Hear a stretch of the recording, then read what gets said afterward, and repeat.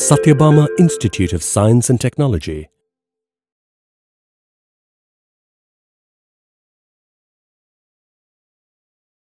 Hello, dynamic learners. Wish you a very great day from Dr. A. Viji Amutha Mary, Professor, Department of Computer Science and Engineering, Sathyabama Institute of Science and Technology. Very glad to meet you again in this video lecture.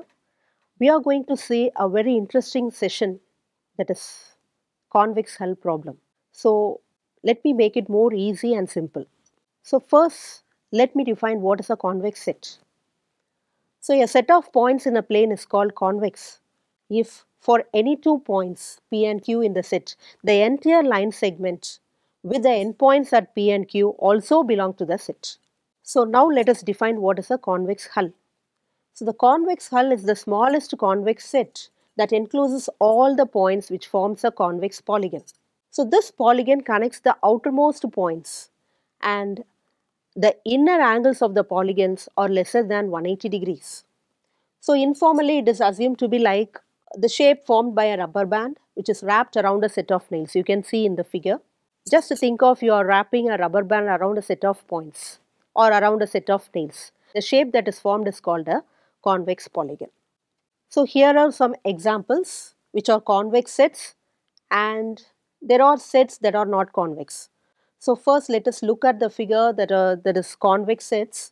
So, here you can see that the, the shape okay you can uh, you can observe the shape the outermost points are connected but here it is not so the sets that are not convex isn't it it is a very important point here now we have to determine if the two points are on the line above the line or below the line.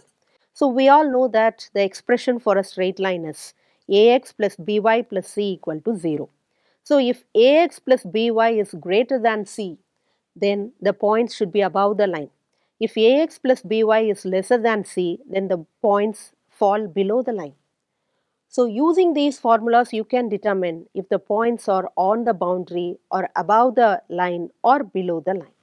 So, here is a very simple algorithm for convex hull.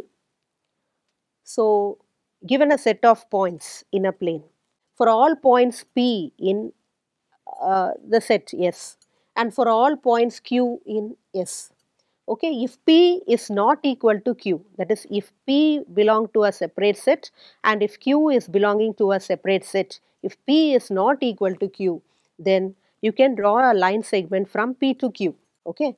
And the next is a very important line that is if all the points in the set s except p and q lie on one side of the line. So what does it mean here?